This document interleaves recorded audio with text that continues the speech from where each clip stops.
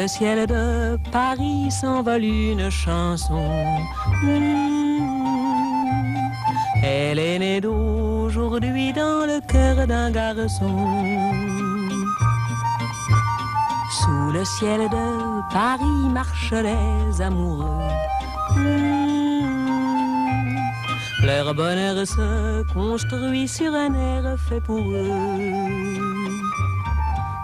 با سلام. در برنامه امروز زیر آسمان پاریس دو گزارش خواهید دید. اولین یک گزارش نمایشگاه نظامی و دیرتر گزارشی در ارتباط با یک نمایشگاه نقاشی. اوروساتوری نمایشگاه امنیت دفاعی و سلاح است که هر دو سال یک بار در حومه پاریس برگزار می شود.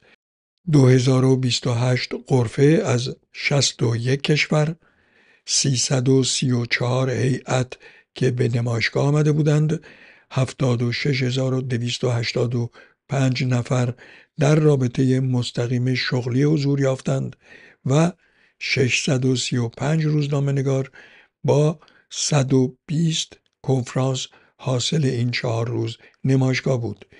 کشورهای شرکت کننده از جمله جمهوری اسلامی قایب اما از حوزه خلیج فارس قرفه عربستان جلب توجه می کرد. استقبال از پهبادهای کوچک و بزرگ با سرعت و توانایی های گوناگون کنجکاوانه بسیاری داشت. امر مخابرات، سلاحهای زمینی نیز دولتهای خریدار را با رد و بدل کارت ویزیت به گفتگوهای کوتاه وامی داشت. از آنجا که دو روزنامه نگار لبنانی در دو زمینه فنی و شغلی گفتگویی را فراهم آوردند بدون توضیحات اضافی اینک شما را به تماشای تصاویر که گویای محتواست دعوت می کنیم تا اندکی دیرتر گفته های این دو روزنامه نگار را نیز بشنویم.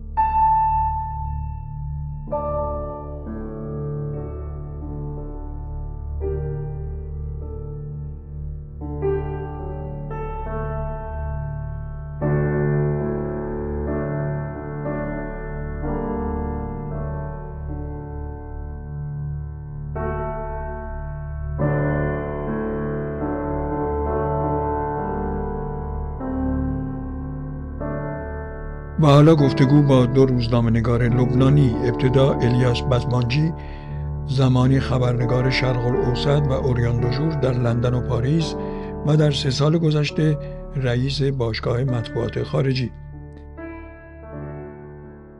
Depuis deux ans, nous étions en ces mêmes lieux pour le salon Eurosatori qui groupe bien sûr les, la fine دو سال پیش هم در همین نمایشگاه بودیم که طبیعتا بزرگترین مؤسسات و کارخانجات در امنیت و دفاع را اینجا نمایش می‌دهند.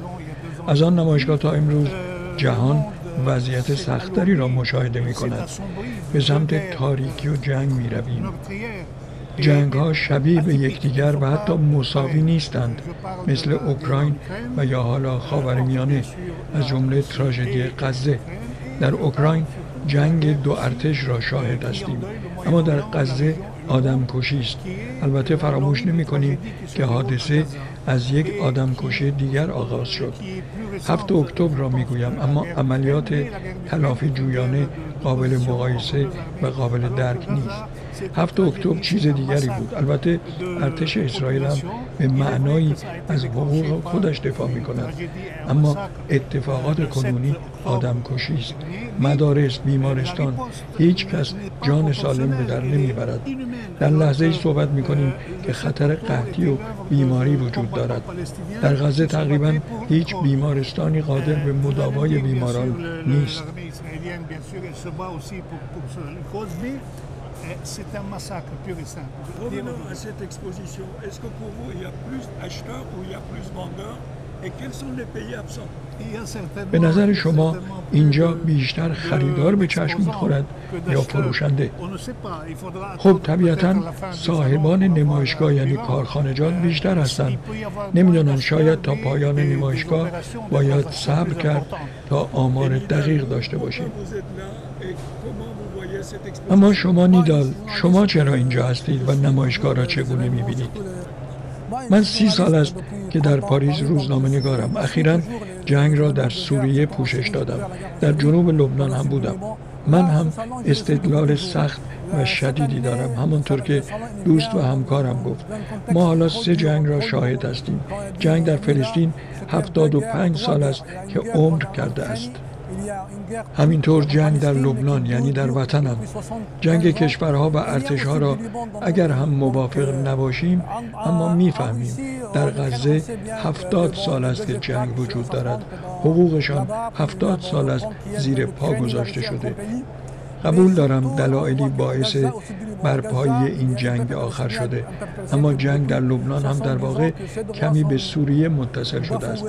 امریکایی ها باید متوجه یک موضوع باشند. قبل و بعد هفته اکتبر یکسان نخواهد بود. حالا دیگر باید حقوق مردم فلسطین را به رسمیت شناخت. نکته دیگر غیر نظامی ساختن منطقه است. مردم حق استقلالشان را میطلبند. نمی‌خواهند قوای خارجی در خاکشان حضور داشته باشد. من خریدار زیادی اینجا نمی‌بینم. می‌پرسید چرا؟ خریداران بیشتر حالا به سمت روسیه چین می روند های غربی به مراتب و چندین برابر گرانتر است. حتی پنج برابر قیمت. های روسی یا چینی و حتی های متعلق به جمهوری اسلامی الان پهبادهای جمهوری اسلامی خریداران زیادی دارد. روند و روال جنگ از بعد از اوکراین در حال تغییر است. می‌دانید که حضور اسرائیل این بار اینجا به این نمایشگاه داده نشد و کاملا قابل درک است. من باور دارم این بار این جنگ شانس و امکان صلح را می‌تواند برای همه به وجود بیارد من باور دارم این بار این جنگ شانس و امکان صلح را می‌تواند برای همه به وجود بیاورد باید به این جنگ تا ابد پیوسته پایان داد و آن را متوقف ساخت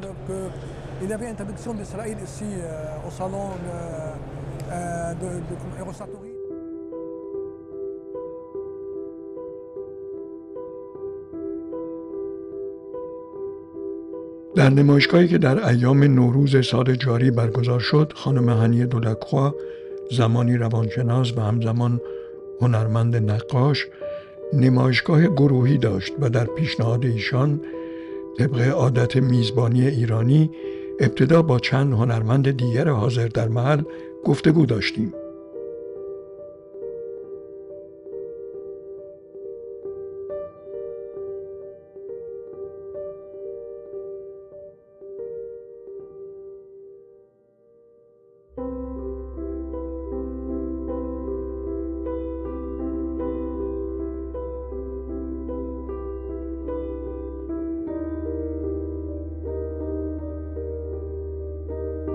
لطفا بگویید کارهای گالری شما و نقاشان حاضر نگاه به چه موضوعاتی دارند و شما چرا امروز اینجا هستید؟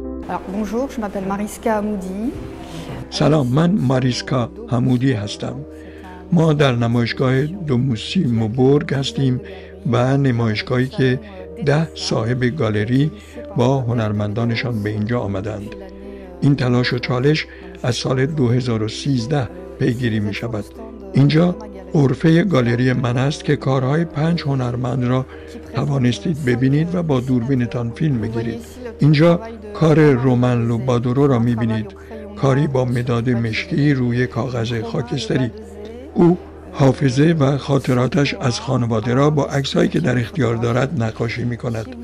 اینجا شما کارهای کوچک لیندا روکس را دارید که بخشی از یک داستان است. هنرمند های مختلفی را ابداع کرده و از نگاه آنها شهر را تماشا می کند این گونه ما با پیام های متحدانه او آشنا می شویم sur lesquels figurent des, euh, des messages engagés. Vous voyez derrière moi le, le travail de Tudy de Ligne, c'est un artiste que j'ai découvert en 2010. اینجا کار تری لولین را می بینید او را در سال 2010 کشف کردم در نمایشگاه کشف استعدادها. تابلوهایش بین انتظا و تجسم است. او نام کارهایش را تصاویر لغزشی گذاشته یک تجربه باور و واقعی چون مغز ما از پیدا کردن دلایل برای انجام کارهای بسیار بزرگ و درک موضوع لذت می‌برد. چون در انتها به دیدن هدایت می شود و تصویر ما را به زیر سوال می‌برد.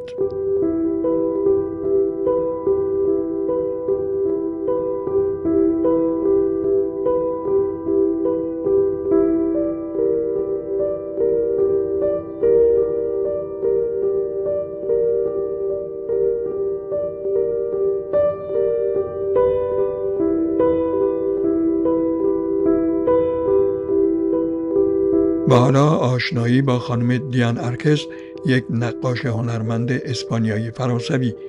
او در مکانهای معتبری چون مرکز پومپیدو و یا موزه هنرهای معاصر پاریس نمایشگاه داشته است. نشان دادن آثارش به طور جداگانه با حق معلف تصویری کار دشواری بود. اما گفته های او و آنچه که می‌بینید شما را به دنیای او خواهد برد. Je m'appelle Diane Arquès, je présente dans le cadre de DD Dessin, euh, invité par Eve de Medeiros.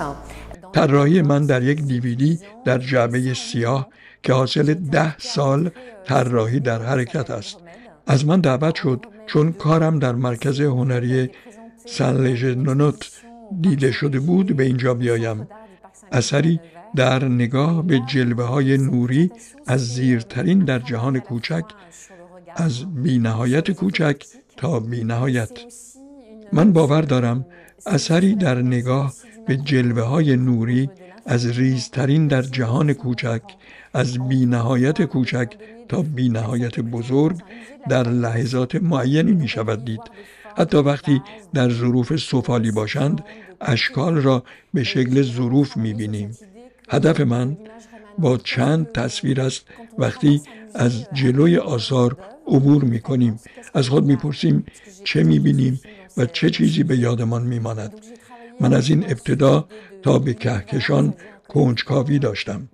اشکال همان دایره و دایره یعنی چشم یعنی یک لحظه دیدن.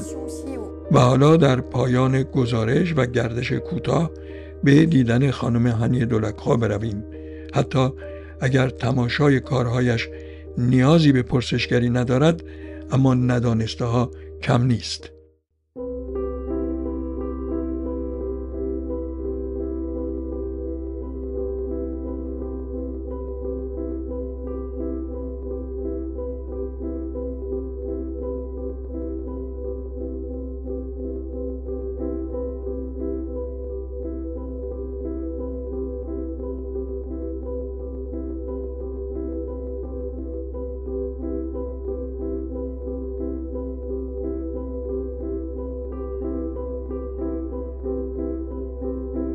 سری که اینجا هستش و به شما امسال نشون بدم یک دونه کاری که هست که از 2016 تا حالا روش کار می‌کنم.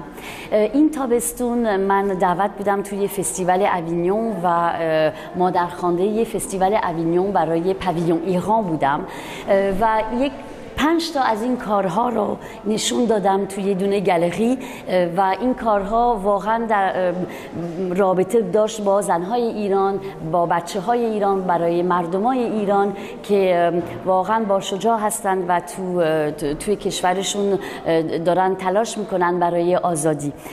و از وقتی که محسا جینا امینی متاسفانه کشته شده خب ما ایرانیایی که تو خارج هستیم وظیفه مونه که ما درباره ایرانیا صحبت کنیم و کاری کنیم که واقعا کمکشون کنیم. درباره این کاری که اینجا هست دلم می‌خواست این کار نشون بدم چون اسمش هست ریواژ و دلم می‌خواست یه دونه پلی بشه بین ایران و فرانسه و یه پلی باشه بین این درونی که تو من هست یعنی یک زن ایرانی و یک زن فرانسوی. یکی اینجا گذاشتم که خیلی معلومه ولی یکی هم اون پشتا قایم کردن که مردم بتونن یک ذره بیشتر نگاه کنن توجه کنن و برن طرفش. این کاری که اینجا هستش یه کاریه که ماه سپتامبر برای منخفر لاغ دودویل منو دعوت کرد توی پله دو شایو چون یک دونه ویکندی بود که مهدی کرکوش که کوریگراف هستش برای رقص یک دونه ویکندی گذاشته بود درباره زن و رقص. و چون رقص و آهنگ خوندن برای زنان توی ایران قدغن هست منو دعوت کردن که یک دونه نمایش بدم. و انتخاب کردم که حرفایی که درباره رقص هست و حرفای شرای پدرم را مخلوط کنم و به و نشون بدم. من خیلی خوشحال هستم که اف دو مدروس برای دد دسم منو دعوت کرده که این کارها رو نشون بدم. چون این کارها پنج تا از این کارها که برای زنهای ایرانی بود من نشون دادم تو اوینیون این تابستون و قرار بود این پنج تا کارها دوباره در جنوب فرانسه توی گریمو نشون, نشون بدم. ولی متاسفانه روزی که آمدم این کارها رو وردارم و بذارم توی گالری دیدم که این کارها در خانه خودم دزدیده شدن. خیلی معلومه که ناراحت شدم ولی به خودم گفتم که اسم اون اگزیبیسیونه که باید می‌دادم اسم اون نمایشگاهی که باید می‌دادم بود toutes les fleurs connaissent la force du vent یعنی تمام گلها تا حالا قدرت باد را شناختن. ولی این گلها مثل این زنهای ایرانی که هستیم هنوز می‌تونن بجنگن و جلو میرن. این من هیچی نگفتم این چمهای گذشته درباره این کارهایی که ازم دزدیده شد و هیچ چیز دیگه توی خونم دزدیده نشد. غیر از این کارهایی که کرده بودم برای برای وطنم برای ایرانی های که دارن می جنگن برای آزادی. ولی به خودم گفتم که چون پنج تا کار ازم دزدیدن من پنجاه تا درست می‌کنم. و این ده تای اول هستن که درست کردن و چل, چل تا دیگه خواهم درست کرد و هست بازم بازم 20 تا تقریبا 25 تا مونده. ولی به خودم گفتم که زنهای ایرانی زنهای قوی هستند و نمیشه زن ایرانی رو سکوت کرد. اگر می‌خوان کسی ما رو دهنمون را ببندن ما باز قوی تر برمیگردیم. من حرفایی هست که بنویسم روی این کارها. یک دونه مسئله هست به فارسی که خیلی دوست دارم. پایان شب سیاه سفید است. À la fin de la nuit noire c'est le jour blanc. اینو همین جوری نوشتم برای اینکه امیدوار هستیم برای هموطنای ایرانی که حتما میریم طرف آزادی و پیروزی زن زندگی آزادی.